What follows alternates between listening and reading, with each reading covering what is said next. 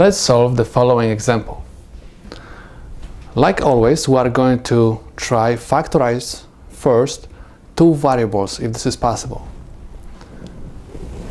In these two terms, we have b naught and c naught. I'm going to factorize b naught and c naught. b naught, c naught. Inside of the parentheses, I'm going to write a naught or a.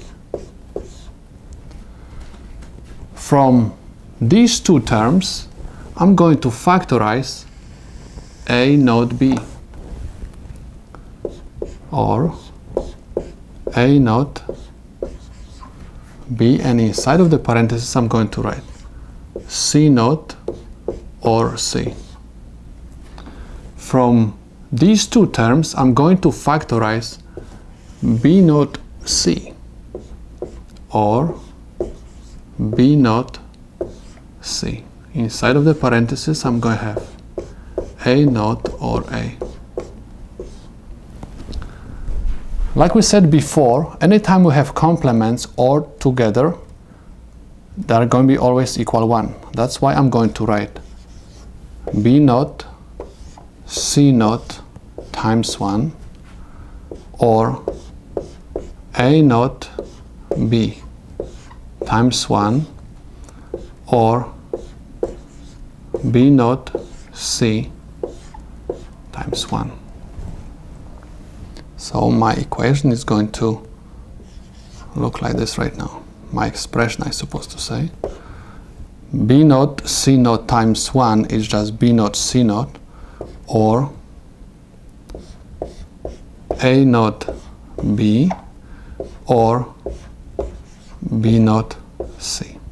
Let's take a look what we can factorize from this expression.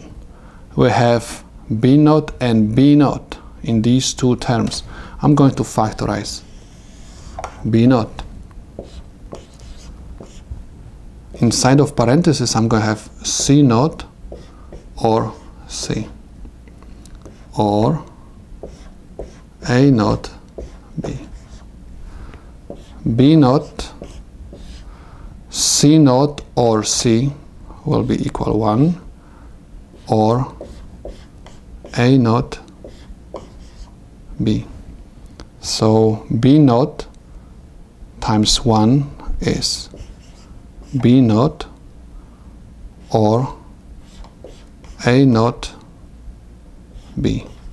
At this moment we can apply the complement absorption right and complement absor absorption theorem says anytime we have complements but one of them is ANDed with something else in this case we have a naught that complement can be dropped off.